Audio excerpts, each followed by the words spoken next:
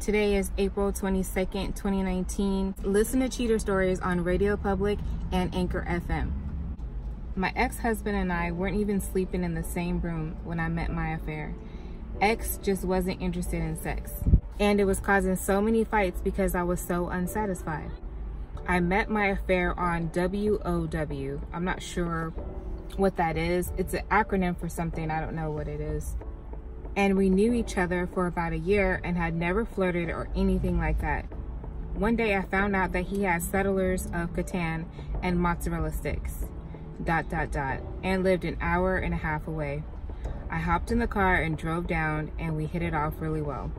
He didn't know I was married at the time. I really needed to get laid. It had been about six months at least. The affair never ended. Or I guess it officially ended when my divorce was finalized. He and I are married now and have been together for six years. Notice how she excused herself from the cheating. These excuses that people have for cheating are just, are lame. You can't go six months without sex? Was with the girl about four months, but she never showed much interest in me physically, so I started sleeping with a rather promiscuous coworker who had been with most of the male staff in the back of my car after work. Two months later, girlfriend broke up with me for unrelated reasons, and me and the coworker are living together happily. Hmm. Okay. I was 20 and I was in a long distance relationship with a girl who I had issues with, but was by no means a girl worth cheating on. My ex convinced me she was bad for me and we ended up hooking up. So he ended up hooking up with his ex girlfriend found out, broke up with me. I got back with the ex I hooked up with. 16 months and one house later, find her fucking with her boss. She walks out on me. Girl I cheated on forgives me and now we are back together. The girl that convinced me to cheat on my girlfriend walks out on me because I caught her cheating. Irony at its finest. I got married the summer before beginning grad school. And at the time, I was already having second thoughts. Oh no. A year later, I went to field school for a month as part of my degree program, ending up stuck on an island with six other people and little outside contact. Oh my gosh, you guys already know. Just before disappearing, my wife and I got into a huge fight and weren't even talking when she dropped me off to leave the next morning. That's messed up. You don't do that. A week and a half in, one of my classmates and I realized how much we liked each other and how great we are together, and I immediately decided I wanted a divorce. Came home, began the process, and moved in with my new girlfriend. We are now happily married three years later and have a beautiful baby boy. I do occasionally feel sorry for what I put my ex through, but we have since talked and both agree that we are much better off now. One or the other of us would have been perpetually unhappy if we had stayed together. Next one. It started with me ignoring my new coworker that everyone wanted to get with. She later came out and said that was the day she knew she would fuck me. I had been with the same woman 10 years, married for four, and two young children. I had no intention of cheating. The first time I remember having any feelings towards her is when her baby daddy called in the middle of her shift and she laid into him. My wife is extremely passive. She never fought me on anything ever. It was boring. So seeing this beautiful woman be aggressive turned me on. We became friends and within the month, I was spending all my free time with her. My wife and I had been having a rough year intimacy-wise and at one point, she told me to go get my dick wet and do what I needed, but don't fall in love. Ooh, okay. I have a great job now, and new girl wants to move up here as soon as she graduates. I think the new girl is his side chick. I really thought I loved my wife, but nothing compares to the love I feel for the new one. It's almost unhealthy. I'd suffer so she never has to. It's been a wild year, and I don't think my wife and I would have been together forever, so better now than later, I guess. I just want to be happy. And as cliche as it is, the heart wants what the heart wants. I'm not proud of the way it happened, but I'm living in a great town with a great job now. And if New Girl does end up moving, I think I would finally be truly happy. Well, it all started four years ago when we met at the fair. We hit it off instantly and talked for a while, but eventually it just sizzled out and we stopped talking. Fast forward a couple of years, and I'm with my boyfriend of two and a half years. We have a one year old son, and the guy randomly added me on Snapchat. We started talking, hang out, one thing led to another, and we had sex. Two weeks later, I found out I have herpes, and I gave it to my boyfriend. I confessed everything to my boyfriend, and thankfully, he stayed with me. And now we're both being treated for herpes. I feel like the world's crappiest person. Knew a guy for six years. Always flirted, but assumed he was oblivious. We made plans on and off throughout college, him being in Navy, etc. They always fell through. Every time we would reconnect, I'd flirt a bit more. He messaged me when I had just started a new relationship. I flirted a bit, but didn't think anything would happen. The next thing I knew, he made plans to see each other, and he showed up at my house. I figured I'd get him out of my system, and that would be that, but I ended up falling for him. Carried it on for two months before he said he couldn't do it anymore. His morals were getting fucked up by the entire situation. So we decided to stop talking. I miss him. We left things pretty open-ended. If we both are single in the future, we should try out a relationship. My boyfriend at the time didn't deserve me cheating, and he never found out. I don't have an excuse. 10 out of 10, wouldn't do it again. Was living with my girlfriend at uni. I guess university it just says uni, was living with my girlfriend at uni towards the end of my degree. Okay, yeah, they were living together at college. Towards the end of my degree, I had a field trip abroad and a good friend and I realized we maybe would have liked to be more than that. Got home, said to my girlfriend that I wasn't sure things were working and I needed some time. We had our finals to do and I didn't want to screw those up for her, so I didn't dump her outright. Meanwhile, the other girl and I got closer and a few things happened. Eventually, after our exams were done, I broke up with my girlfriend, adamantly denying there was someone else. Now, 12 years later, me and the other girl have been married for five years and my ex is married to a woman. Dated a girl in college. We got engaged, but only because I was scared of being alone.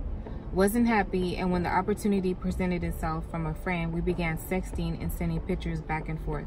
Nothing physical, but emotional, and as soon as my fiance found out, she left. Her fiance, the other girl, the girl he cheated with, her fiance found out, but forgave her, and she's now happily married.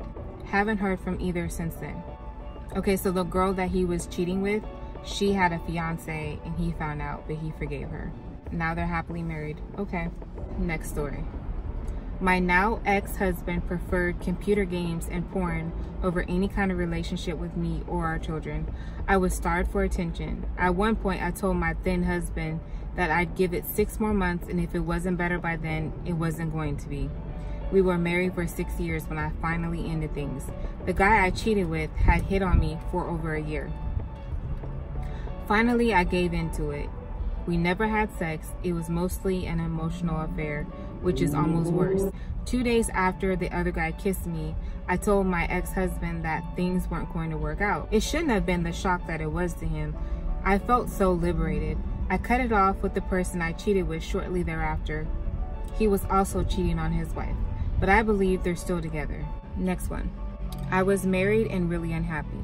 I flirted with a couple of our friends jokingly at first, but more seriously as time went on. After a while, I asked my husband if I could sleep with them, and he told me I could do whatever I wanted, just don't tell him about it. Since this was obviously passive aggressiveness, I waited around a month and asked again to make sure the answer wouldn't change. When I asked again, he said the same thing. I decided I didn't care enough at this point to not just take it at face value, so I ended up telling the guy I was flirting with, and we had sex. Anyway, my marriage ended. Me and the other guy have been together for about two years now, and I'm a lot happier than I was before. So I guess it all turned out pretty well. Next one. My relationship was ending when I met him. We became good friends and told each other all about how messed up our current relationships were. The night it went too far was after drinks, a kiss in a bar, and a DUI. I bailed him out. After we slept together the first few times, I ended things with my boyfriend. He always said he was going to break up with his girlfriend, and he never did. Long story short, it was months and months of him telling me he wanted to be with me and loved me, and months and months of him not doing anything about his current situation. When he finally did break up with her, he stayed with me for a few weeks and things were great. Then in a company-wide meeting with other coworkers there, he texted me to tell me he was getting back together with her. A year and a half later, I am married to someone else and they are still together. I was in a lesbian relationship for a while. We had been dating for three years and had slowly drifted away from each other in that time. I started talking to this guy that I've always wanted to be friends. One thing led to another and I ended up sleeping with him. The night I slept with him, I went home and immediately told my girlfriend and broke it off with her. Eventually, I started dating the guy I slept with, and now we're getting married in August.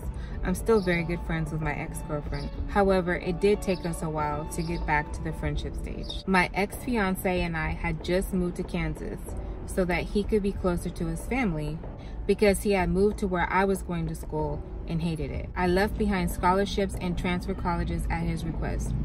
When we got to Kansas, nothing improved. The mismatch of our libidos made everything worse so I started looking on Tinder. I met a guy for what I thought was a fuck date. He ended up being everything I felt I was missing in my relationship. I kept going back for two weeks. Every day, the sex was amazing. Before I realized it wasn't going to stop and I had to end things with my fiance. I broke up with him but never told him I cheated. We're both so much better off now. He married one of his exes and is really happy. They're perfect for each other. The guy I cheated on him with is my now husband and we're expecting a baby girl this month. Been on both sides of the coin. First time when I cheated, I was dating a great girl for nine months at the end of high school into college and we were both sailing smooth. We ended up going on separate family vacations and spent about a month away from each other with little communication due to time zone differences. In the time we were separated, she decided that she was ready to move on to the next stage moving in slash sleeping together. I had just gotten out of an abusive relationship and was not as open to the idea. It started to scare me a bit, and then I started rethinking our whole relationship. It started seeming too perfect for me, and I ended up confiding in her best friend. First started out as advice, turned to more, until I ended up sleeping with her best friend on multiple occasions we eventually told her after she had a pregnancy scare and it destroyed her. I ended up trying to date the best friend, but all we had was sexual compatibility and not much more than that. Next story. I had a friend with benefits who wanted something more, but I just didn't at the time. Then some new girl started messaging me and I started to really dig her and left the friend with benefits to pursue the new girl. The new girl was a little possessive and wouldn't even kiss me unless I made her my girlfriend. I eventually asked her out and we started dating.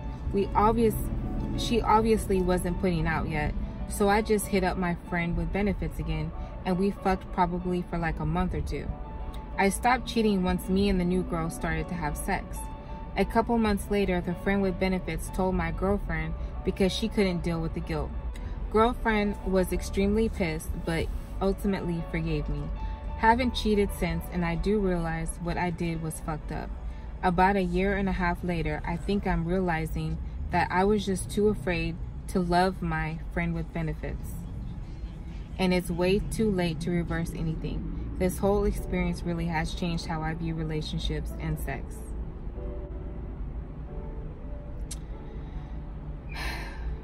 Dated for two years in college. She graduated early and left. We'd always had issues and fought a lot. She was head over heels for me, but I'll be honest, I didn't feel the same for her. Plus, we fought a lot, as I mentioned. Girl had a temper.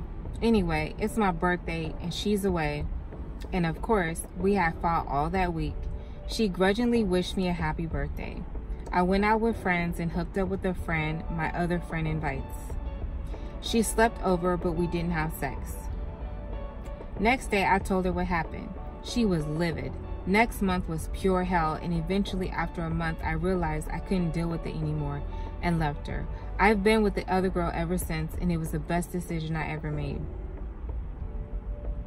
Next story. We used to work together, then we became friends when I stopped working with him. After a concert, we went to a bar and he kissed me.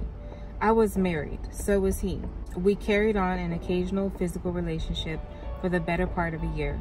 until my marriage started seriously falling apart and I called off the affair so I could make sure that if I left my husband, it wasn't because I was fuzzy due to someone else's interest. I left my husband a year later and haven't rekindled things with my affair partner, nor do I want to. Hmm. Okay. Next story. My girlfriend was extremely depressed and I was struggling to cope. I increasingly felt distance from her and became more and more lonely. Another girl started giving me a lot of attention. Naively, I thought we could just be friends. Things escalated and I began to feel trapped and too guilty to tell my girlfriend because I was worried about her depression. In the end, I broke up with her but didn't tell her about the affair until a year later. Before you ask, I obviously regret it. She was a cheater. I was single. I didn't help matters though. She was a regular at the bar I managed, not a typical bar. It was a champagne and cocktail bar in a shopping mall. She would come in once or twice a week with her friend or her husband and flirt openly. He never seemed to mind as he always thought it was harmless and I chatted to him just as much as her when they were together. She added me on Facebook as I was obviously active on the business page and easy to find. I accepted and she sent me sporadic messages when she was heading to the bar, etc which built up to general conversation and a little bit more flirting. One day, she sent a message saying she was in a bar around the corner from where I lived. Had just had a drink with friends and asked if she could treat me to late lunch. I accepted. I was hungry. It was never more than sexual. She clearly wasn't being satisfied at home, and so I dated other girls a little during the time, and things began to slow down and were running their course between us. I moved away after a few months for work, as it turns out, to her hometown, which meant that now she had the perfect excuse to come see me and book a hotel room every so often under the pretense of seeing family, which she did while I was at work. After one or two visits, things just naturally fizzled out thanks to distance, and she continued her sexually unsatisfying but ultimately more stable marriage, minus me as a sex partner. In a nutshell, was going out with an emotionally abusive guy. Began dating when I was 14. He was 18. I stayed with his brother for about a week, around three years into the relationship. Things began happening suddenly. I resisted at first, but asshole boyfriend kept on sending me threatening messages, so I thought, fuck it all. Okay, things began happening suddenly. I resisted at first, but asshole boyfriend kept on sending me threatening messages, so I thought, fuck it. We ended up only making out and sharing a bed together. But I managed to eventually get out of the abusive relationship. No one knows about this. The brother and I later began sending nudes and hooked up a couple times after. Things have faded out now, and the guilt and damage kills me. I want to talk to people about it, but because of my religious background, I know the shame would be too much. Fuck my life. Next one. I was in a highly emotional, abusive relationship. My former boyfriend had a mental illness that he used to manipulate me into getting what he wanted. Started getting really close with one of my friends who I ended up confiding in for everything. He would buy me carne asada fries when I cried and watch movies with me until I felt better. I ended up telling him I had a crush on him. Broke things off with my ex and we started dating shortly after. I'm now happier and healthier than I've ever been. We will actually be moving in together in a couple of months. Okay, so now I'm gonna read some of the comments down below. So basically, all these are terrible people. Oh, hell yeah. I mean, if you don't love the person, break up. Why would someone cheat? I like how all of these are prefaced with their justifications for cheating. Ha ha. True. Ha ha ha.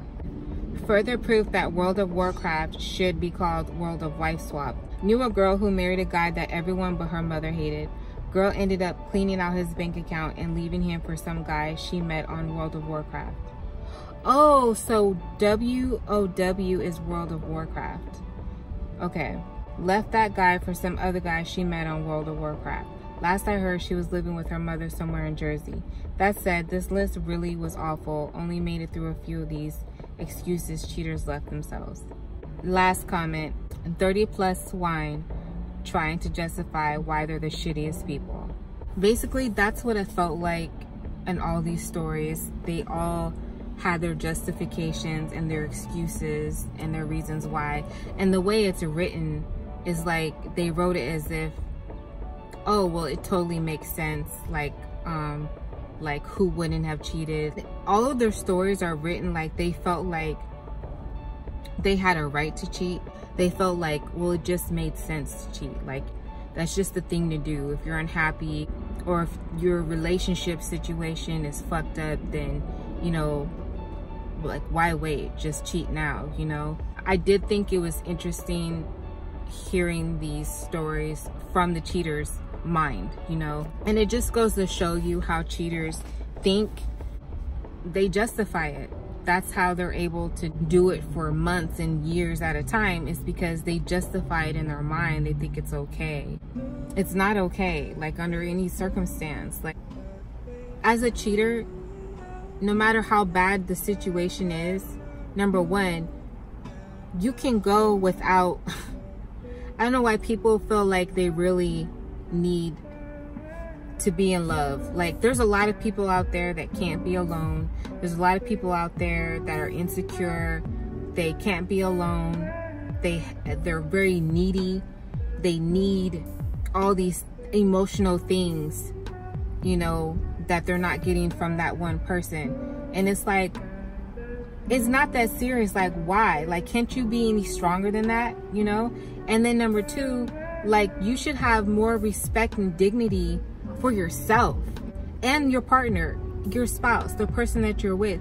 You should have more respect and dignity for the both of you to walk away. A lot of people are weak sauce and they just can't break up with the person. And it's like, if you're that unhappy, then just do it. Like, just do it and get it over with. Like, don't be a bitch ass about it hey guys so thanks for watching and please feel free to leave some comments down below. Let me know what you think. Tell me how you're feeling about these stories. On anchor fm you can call in leave me some messages and you can send stories to my email. Emails in my description. I will see you next time. I hope you all have a great week. Bye